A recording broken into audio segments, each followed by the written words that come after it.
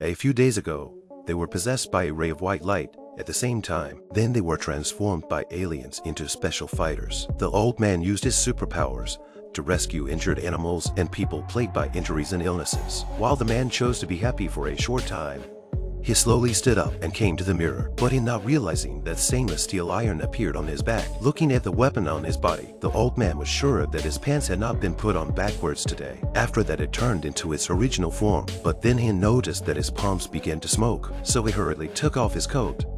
Looking at his own hand, the old man seemed to touch another switch. His own nail cover actually opened automatically. Looking at the closed nails, he felt very puzzled. Suddenly, the palm of his hand sprang out of the other weapons, but the next second it shrunk back. The old man carefully checked. Then he seemed to press to some switch. His head actually began to separate. The sphere inside is constantly rotating.